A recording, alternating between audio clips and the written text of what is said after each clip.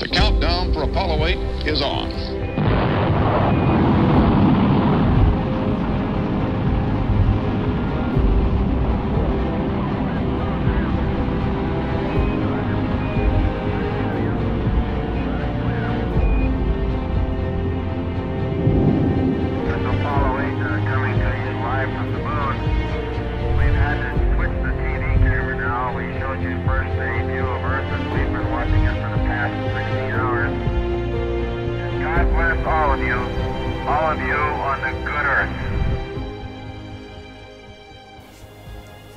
En la época de las misiones del Apolo, yo aún no había nacido.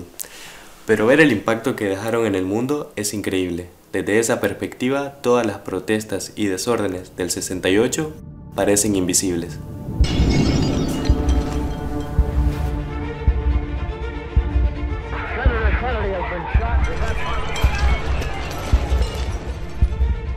Hoy no es diferente. La violencia, el odio, la destrucción están en todas partes. La soledad y la indiferencia continúan creciendo. La sociedad está cada vez más polarizada. Parece que las cosas nunca podrán cambiar. Necesitamos una nueva perspectiva. Pero no me malinterpreten. Sé que hay muchas personas que creen en un mundo mejor y que trabajan sin descanso, con generosidad para cambiar las cosas.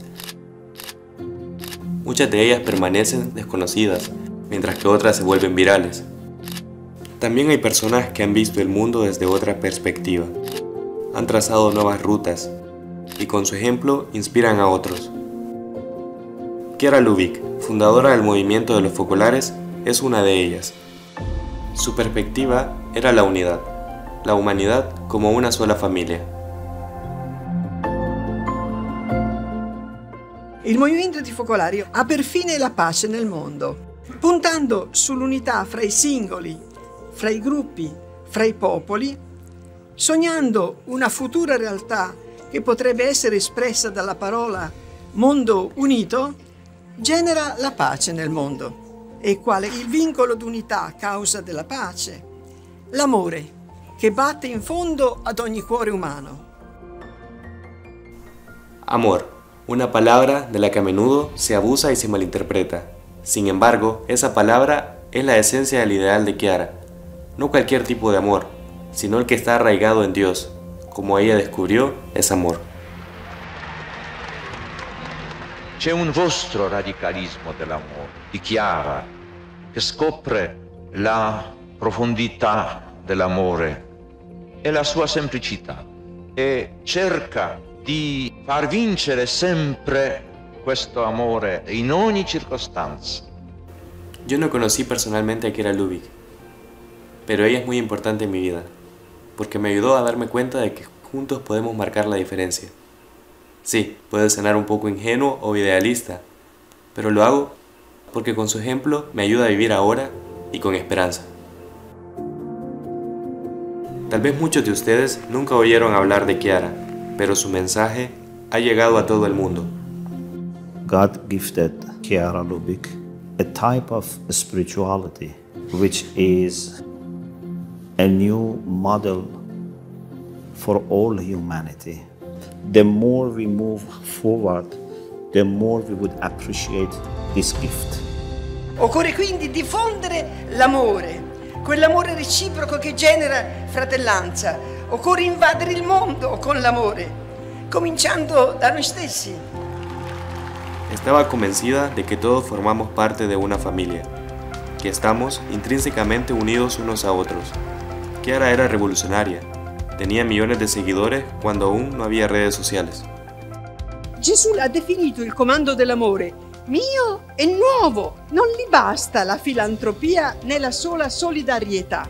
Domanda di non vivere più per se stessi, ma per gli altri, pronti a donare persino la vita in loro favore. Chiara Lubick è una figura di donna a cui non solo la Chiesa, ma anche il mondo secolare guarda con un'intenzione e un interesse particolari. Non si esce indenni da un incontro con Chiara, dalla sua chiarezza, perché ha la grazia arcana di rischiarare ciò che incontra. Si dovrebbe vivere la fraternità così bene da arrivare ad amare il partito degli altri come il proprio, sapendo che entrambi non sono nati per caso, solo armonizzandoli in un disegno comune, la politica raggiunge il proprio scopo. Kiara Lubick murió en 2008, pero su ideal sigue viviendo en los más de 2 millones de personas que hoy componen el movimiento de los focolares en todo el mundo.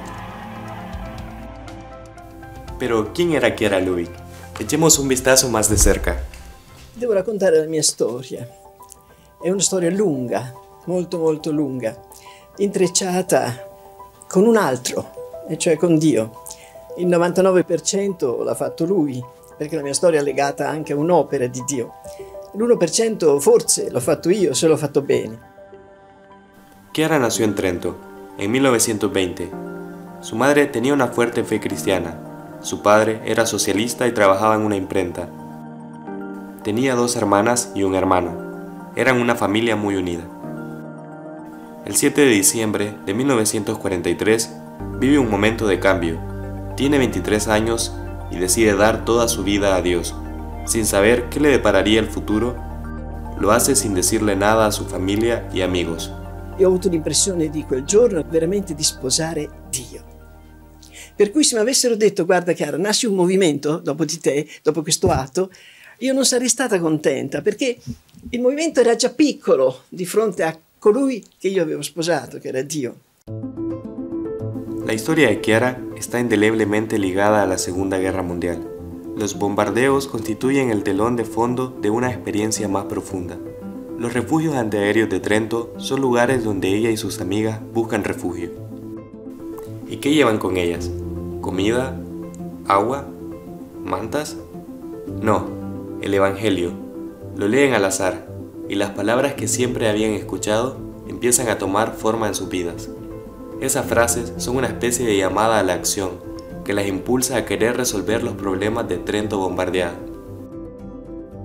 Un giorno ci siamo trovate insieme per ripararci dalle bombe in una cantina. Avevamo la candela accesa perché non c'era la luce e sopra i bombardamenti. E lì apriamo il Vangelo a caso e troviamo il testamento di Gesù che parla dell'unità, padri che tutti siano uno. Non solo questi, ma anche quelli che crederanno che tutti siano uno. Era una preghiera difficile, e, eppure noi abbiamo avuto come l'impressione di capirla in qualche modo, soprattutto di sentire che lì era la magna carta del nuovo movimento che stava per nascere. E abbiamo detto a Gesù, eh, ecco qui, se vuoi fare l'unità, usa di noi se credi.